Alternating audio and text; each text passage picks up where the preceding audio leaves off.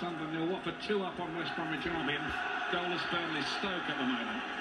And the other games tonight. And just as Burnley have taken the lead in that game with George Boyd. As uh, tempers begin to rise here. Well, basically, the referee dropped the ball. Sunderland nil. Watford two up on West Bromwich Albion.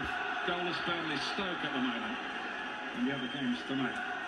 And just as Burnley have taken the lead in that game with George Boyd. As tempers begin to rise here. Well, basically, the referee dropped the ball.